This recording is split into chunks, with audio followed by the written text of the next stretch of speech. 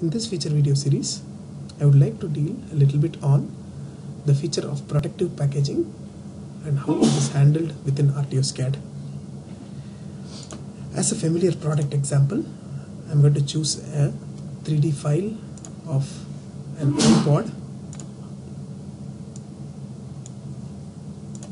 Okay, so uh, I would first rotate it the direction that I would need. Okay, now what I'm going to do is create foam around the iPod and then create a separate box which will hold both the foam and the product. The first step is use a tool called as a bounding box tool. Now the bounding box tool is meant to extend the boundary of the product and this will give the dimension of the foam. So it is extended in one direction. Let me reset that. Say extend on both the direction.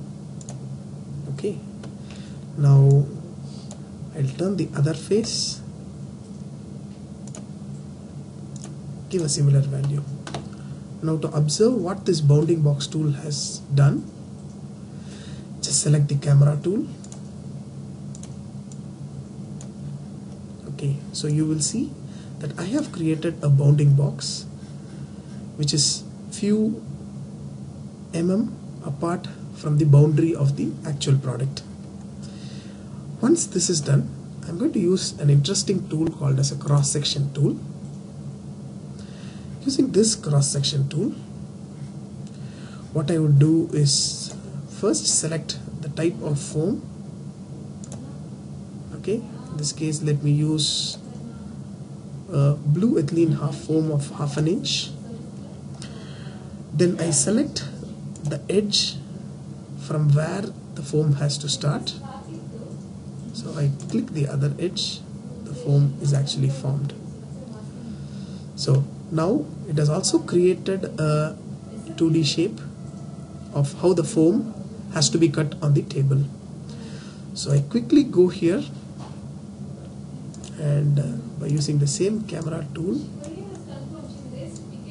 you would actually know that uh, the product which is the iPod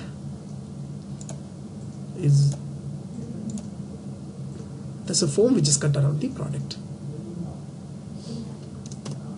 Okay.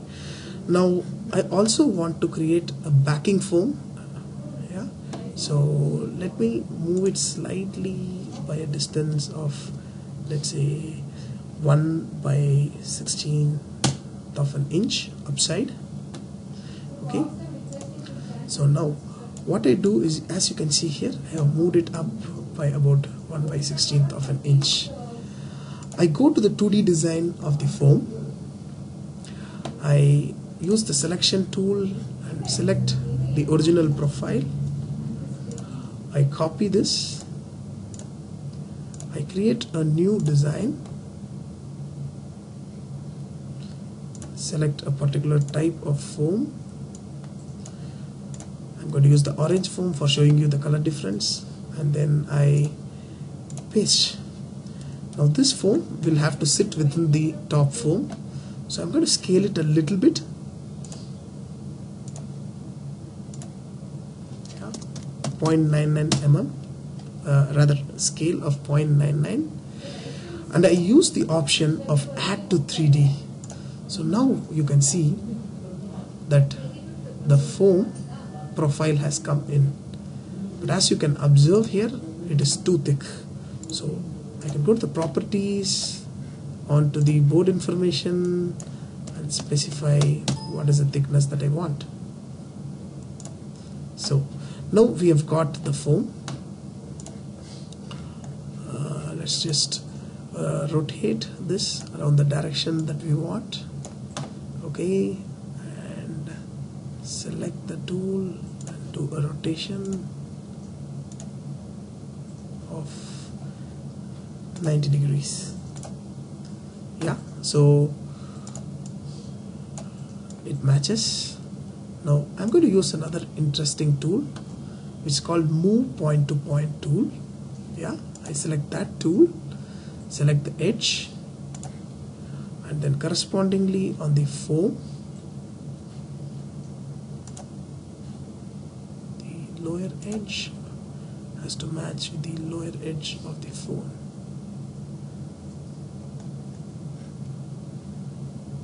Okay so as you can see now we've got the phone a foam box surrounding the phone. And we've got a backing foam yeah? Now as a next stage to this I'm going to quickly create a tertiary box to house this entire setup. So I use run a standard tool. Now in this tool I select which is going to be the length dimension and which is going to be the width dimension. Quickly it goes to the standards catalog asks you to choose a design okay? Let me choose this design say okay. Select the type of board. In this case I'm going to go ahead with selecting a C flute.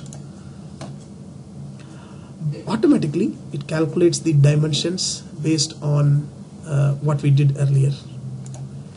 So conflicts which I'm going to ignore in this case I'm going to say OK so what you've got is uh, the box. Yeah. And uh, just going to fold this up 90 degrees. Fold this up by 90 degrees. Fold this up by 90 degrees. And then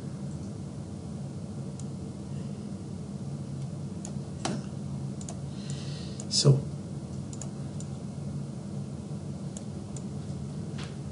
so with the help of certain features and tools in Artios CAD you could build the protective packaging in, in very few minutes. And at the end of it you quickly take um, a report. Yeah a report of what are the additional components that are involved?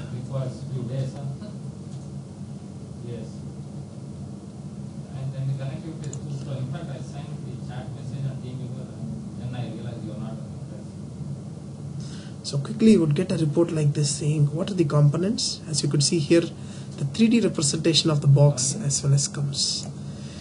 Thanks. Thanks for watching the video.